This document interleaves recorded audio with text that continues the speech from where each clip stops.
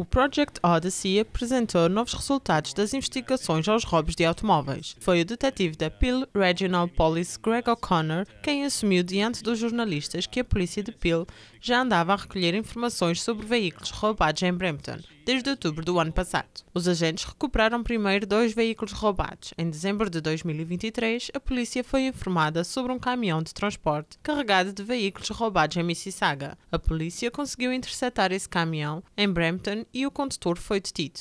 O'Connor alega que uma empresa de caminhonagem local gerida por uma família foi identificada como sendo responsável por facilitar e carregar o transporte de veículos a motor.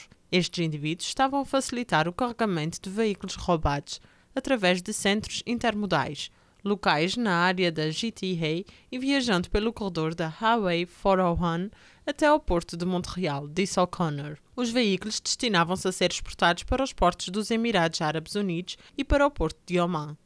Os investigadores deslocaram-se então ao Porto de Montreal, onde foram abertos 37 contentores com a ajuda da autoridade portuária e do Canadá Border Service Agency. Aí foram recuperados 114 veículos roubados, bem como 3 caminhões de transporte. Outros 255 veículos roubados foram recuperados em toda a região de Peel, avançou a polícia. No total, através do chamado Project Odyssey, O'Connor disse que 369 veículos no valor de 33,2 milhões de dólares foram recuperados antes de serem destinados a sair do país. 16 pessoas foram detidas e acusadas de 322 delitos relacionados com o roubo de automóveis. No entanto, a polícia identificou 26 suspeitos relacionados com a investigação. Há 10 suspeitos pendentes com mandados de captura. That you will be arrested in the region of Peel if you commit nefarious acts like this. Thank you so much.